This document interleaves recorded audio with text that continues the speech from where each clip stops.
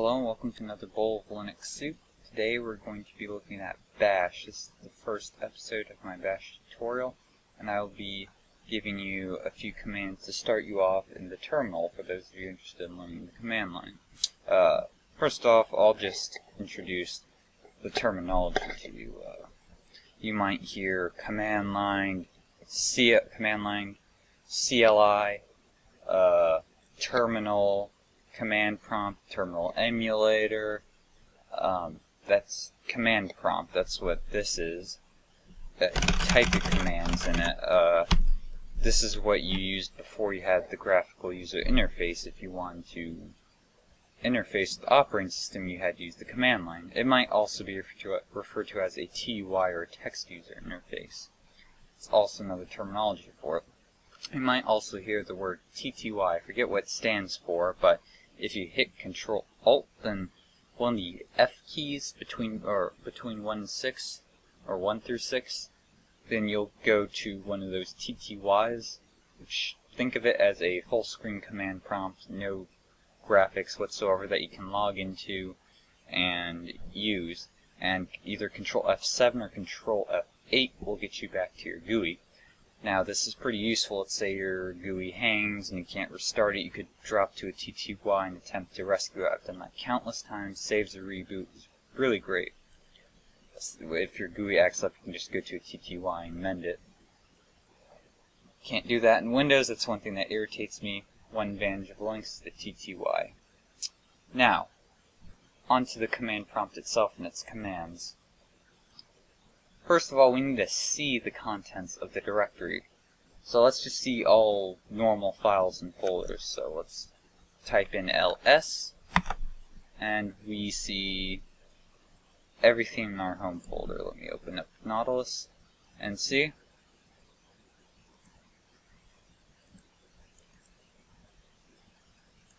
Now we might want to see hidden files and folders, so hit Control H here. Here's all my hidden files and folders. Do the same thing, we type in ls-a.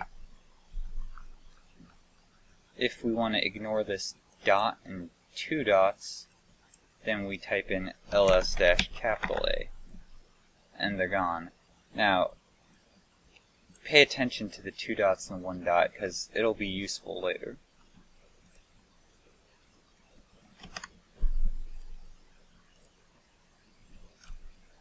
To clear text off the screen, we type clear. Now we might we need to navigate too. We need to be able to move around. So let's view the contents of our directory. Maybe I want to go to desktop. So I type in cd for change directory space desktop, and I can view the direct or the contents of the directory there. Nothing here.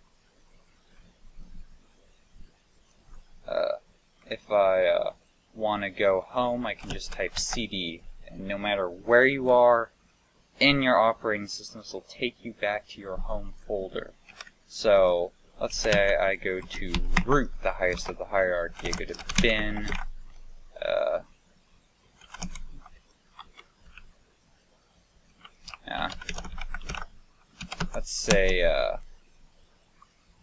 uh, proc and we go to 8. We go to FD. Can't go there. Maybe TTR? Yeah. And we want to go home. CD, bam, right home. Go home here. Hide the files and folders. Uh, one thing to keep in mind, let's say I'm in Documents. Uh, the dot and the dot dot the uh, one dot stands for current directory and the two dot stands for one directory up. So I'm in music. We can go one directory up, one directory up. Now we're in home. Go another directory up. We're in root. CD. We're back home. Two more variables: dollar home and tilde or tilde. That's shift and then the key that's to the left of one below escape. We can do that to, uh, that stands for home. That way I don't have to say, uh, slash home, slash pingcasts. I can just say dollar home, or simply tilde. Tilde. Now we've viewed the contents of our directory, we've cleared text off the screen, we've just jumped to our home directory, taken a look at a few variables, uh, and we've just moved around, looked at stuff. Now we want to actually interact with it. So first, let's create stuff. Let's create a file. Use that with the touch command. So I'm going to touch uh, file 1. Now let's look at our folder again. See file 1, and here it's in our folder right here. If I want to remove it, that's with the rm command. Be careful with this. This is not like standard deleting. See, when you you move it to the trash can when you use it in uh, the graphical manager. I think Windows says delete. This is it's a bit more accurate in Nautilus. It says move to trash because you're not actually deleting. You're just moving it to the trash can. This will actually delete it.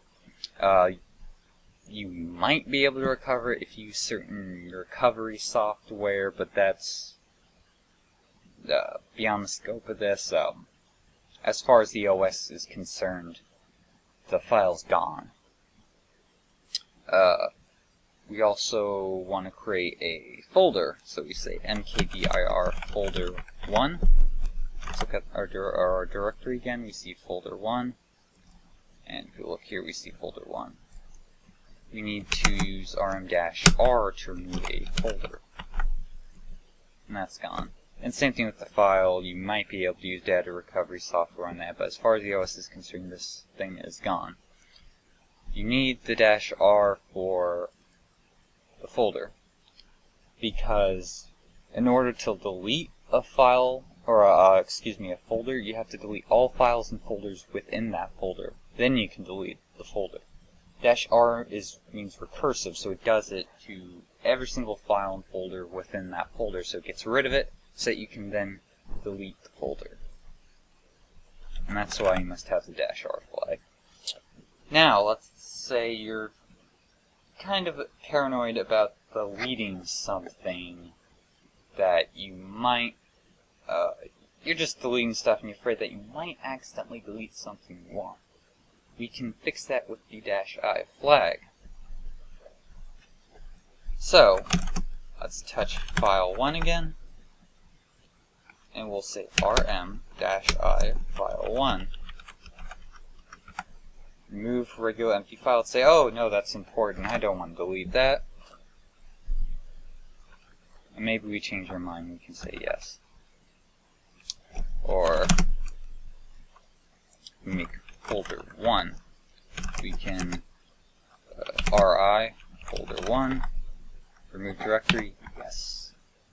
Now, it will prompt you, if you use the I on the directory and there are folders inside of it, it will uh, it will prompt you for every single file. That, if you have a couple, that might not get annoying, but let's say you have 50, it gets ridiculous. So let's say mkdir folder 1, and if you don't understand what I'm doing right here, that's okay. It's beyond the scope of this tutorial. I now have 50 blank files named 1 through 50. So I have, if I rm-i this directory, do I want to descend into it? Yes. Yes, yes, yes, yes, yes, yes, yes, yes, yes. It is ridiculous. So it can get annoying if uh, you prompt yourself all the time. If the directory is rather large. Uh, if you still, if you want to make this permanent, you don't want to type dash i every time, just uh, do this, control H, look for .bashrc, right click, open with text editor, and right here say uh, alias rm is rm equals a single quote rm dash i save that, close that, press Control H, and then it will, that way, well, this has to be reloaded. I'll explain this later, just do that if you don't feel, if you don't want to close and open up the terminal. If you if that's too much for you, you can just close and open up the terminal again. It's just that one time because it has the settings from before we loaded or we typed in bashrc, and I'll explain this in another episode. But now, let's say touch file 1, rm file 1, yes. And now it's aliased. Or, so every time I type in the rm, do RM dash I.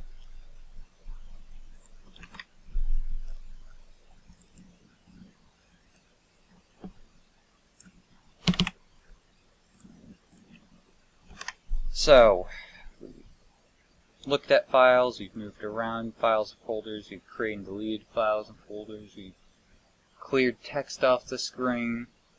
Oh, some other things. Uh, I used file or folders and directories interchangeably. Yeah, a, folder is a directory, if you didn't already realize that. They're the same thing. And you might hear directory a bit more when you're talking command line. Uh, I said variables, that's just, it. it's set equal to something else, it's a value of something else. I can explain this in later episodes, but for now just think variables equal to something else. So, uh, ls to view the contents of a directory, cd to move around, touch to create files and files, mkdir to create folders, rm to remove files, rm-r to remove folders. Uh, just burn those commands into your brain. Clear to clear text off the screen. Burn those into your brain, practice them, and I will see you in the next episode where I'll teach you even more command line stuff. So I hope you enjoy this. Stay tuned for another Pingcast.